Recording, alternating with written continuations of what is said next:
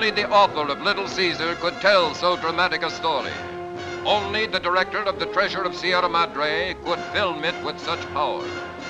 Only once in a decade does the screen come up with such absorbing characters. Sterling Hayden as Dix Handley, a hooligan with a twisted dream. Jean Hagen as Doll, the dime a dance dame who wanted to share that shabby dream. Let me go with you. Please, Dix, please. Are you crazy? I'm on the lam. I'm wanted bad, packing heat. If there's any trouble, what good would you be? I could drive. No, Doll. I'm wanted on a killing rap. You know what that means. I don't care. I just want to be with you. Louis Calhern as Emmerich, the big-time mouthpiece with crime on his mind.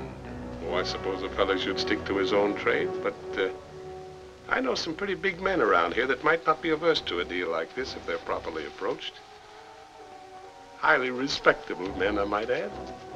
Sam Jaffe as Doc. He's got a million dollars in that little black bag, and a jitterbug cost him every dime of it.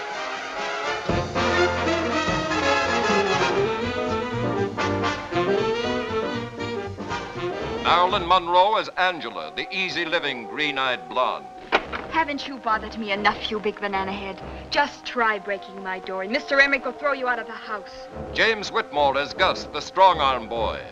A right guy in a wrong world.